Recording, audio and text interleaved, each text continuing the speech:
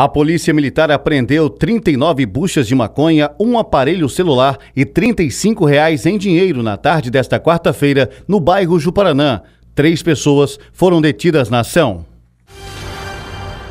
Um acidente de pequenos danos foi registrado na manhã desta quinta-feira. Segundo populares e a própria vítima, ao trafegar pela marginal da BR-101, próximo ao trevo de acesso ao bairro São José, um motociclista acabou colidindo na traseira de um veículo Gol.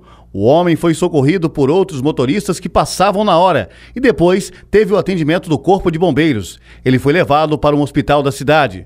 O motociclista falou com nossa equipe de reportagem e disse que estava tudo bem. O trânsito parou de uma vez e de repente eu não consegui é, parar a moto, bateu na traseira do, do carro que estava na minha frente. Você se machucou muito aí? Não, normal, algumas ranhadinhas só, uma pancadinha só, mas tá tudo normal. Aguardando socorro aí aguardando, né? Minha vontade é nem tá aqui mais, que eu não estou sentindo nada. Normal.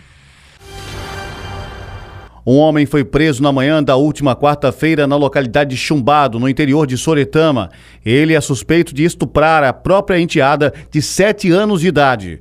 De acordo com informações da Polícia Militar, ele foi denunciado pela companheira e os abusos teriam ocorrido no sábado, dia 6 de fevereiro, e na terça-feira, dia 9.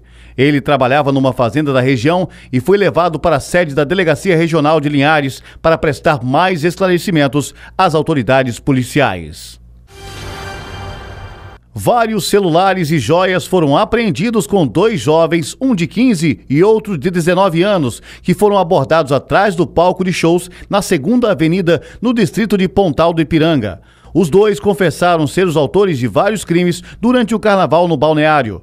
O fato aconteceu na madrugada da última quarta-feira. Eles foram levados para a sede da Delegacia Regional de Linhares para prestar mais esclarecimentos. Se você foi vítima de furto, roubo ou assalto no Pontal do Ipiranga durante os dias de carnaval, é bom ficar atento e ir até a delegacia para tentar identificar se há algum objeto que pertence a você.